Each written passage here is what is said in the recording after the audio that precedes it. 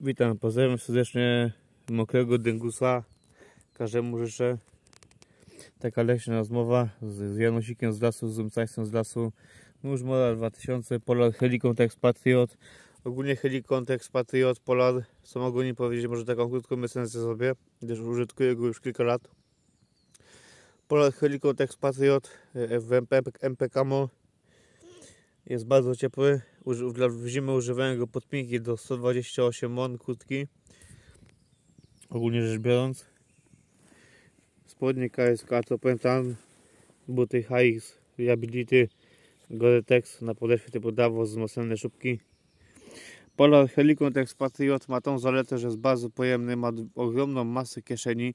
Z tyłu mamy dwie kieszonki, gdzie można schować browara przed żoną. Ogólnie jest on bardzo mega pojemny. Polecam tego typu polady. Ogólnie polecam też Helicontex Gunfighter krótkę na zimę. Ocieplana polarem, ośrodka impregnowana od nowości. Jest to bardzo fantastyczna krótka, którą oceniam 5 na 5. Wszystko po niej spływa.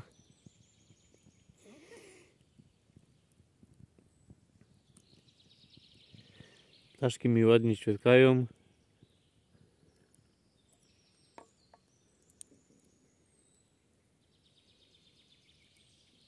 Proszę tylko spojrzeć, jak pięknie.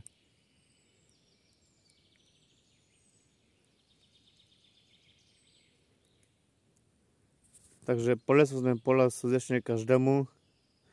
Y, Kto chce mieć y, ciepły polar na wiosnę, podpinkę na zimę, nawet na jesień, na, na w, lato, to w lato może się zgrzejemy, trochę zależy jaka będzie temperatura.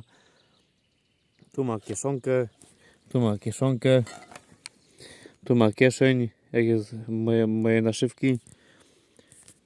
Tu ma kieszonkę. Łącznie ma on 10 kieszeni chyba z tego co pamiętam. Jest on rewelacyjny. Mi, nigdy w nim nie przemazłem.